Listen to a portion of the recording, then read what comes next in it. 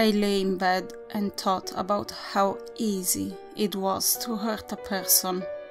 It didn't have to be physical. All you had to do was take a good hard kick at something they cared about. Because there was only one thing worse than dying, and that was knowing you were going to die, and where and how. And the most terrifying question of all may be just how much horror the human mind can stand and still maintain a wakeful, staring, unrelenting sanity. All I could think of when I got a look at the place from the outside was what fun it would be to stand out there and watch it burn down. Death doesn't exist. It never did, it never will. But we've drawn so many pictures of it, so many years trying to pin it down, comprehend it. We've got to thinking of it as an entity strangely alive and greedy. All it is, however, is a stopped watch, a loss, an end, a darkness. Nothing. The monsters that rose from the dead, they are nothing compared to the ones we carry in our hearts. He was soon borne away by the waves and lost in darkness and distance. I still get nightmares. In fact, I get them so often I should be used to them by now. I'm not. No one ever really gets used to nightmares. The truth is that monsters are real and ghosts are real too. They live inside us and sometimes they win.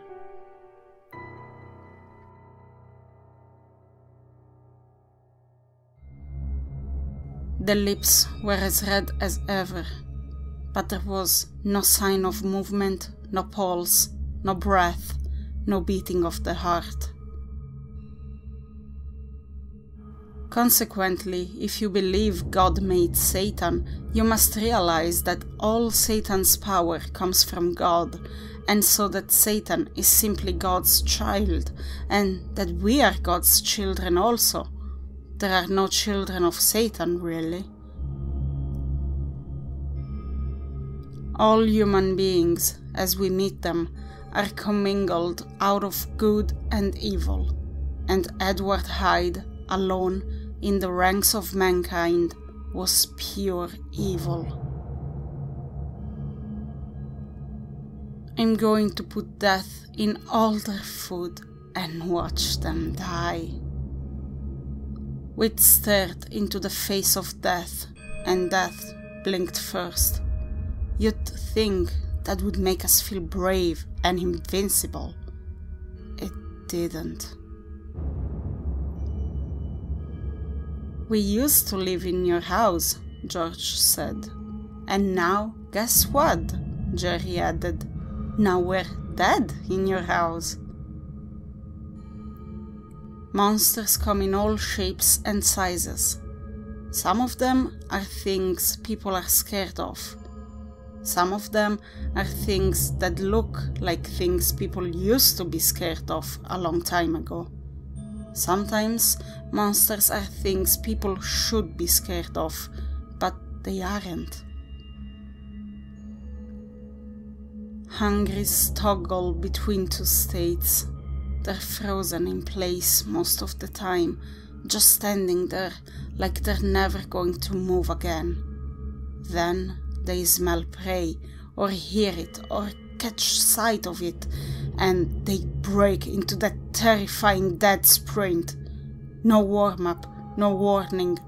Warp factor 9. I saw something moving round the foot of the bed, which at first I could not accurately distinguish but I soon saw that it was a sooty black animal that resembled a monstrous cat. It appeared to me about four or five feet long, for it measured fully the length of the hearth rug as it passed over it, and it continued toing and froing with the lithe, sinister relentlessness of a beast in a cage. I could not cry out, although, as you may suppose, I was terrified. Its pace was growing faster, and the room rapidly darker and darker, and at length so dark that I could no longer see anything of it but its eyes. I felt it spring lightly on the bed. The two broad eyes approached my face, and suddenly I felt a stinging pain as if two large needles darted an inch or two apart deep into my breast. I waked with a scream.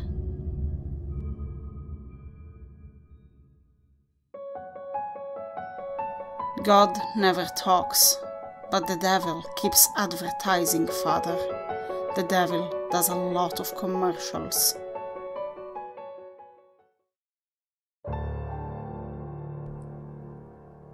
With a thin black wand, he was drawing designs on her body, dipping the wand's point in a cup of red held for him by a sun-brown man with a white mustache. The point moved back and forth across her stomach and down, tickling to the insides of her thighs.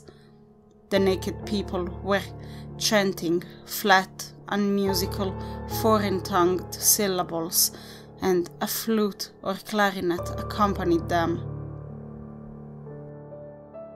The favorite spectre of Sleepy Hollow, the headless horseman, who had been heard several times of late patrolling the country, and, it was said, tethered his horse nightly among the graves in the churchyard.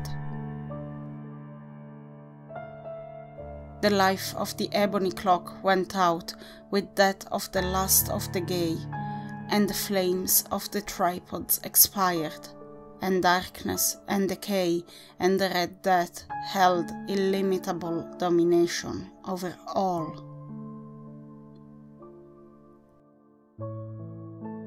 As he crossed the entry hall, he had the feeling that the house was swallowing him alive. She had a ghostly pallor and a dreadful expression. She wore clothes that were out of keeping with the styles of the present day. She had kept her distance from me, and she had not spoken.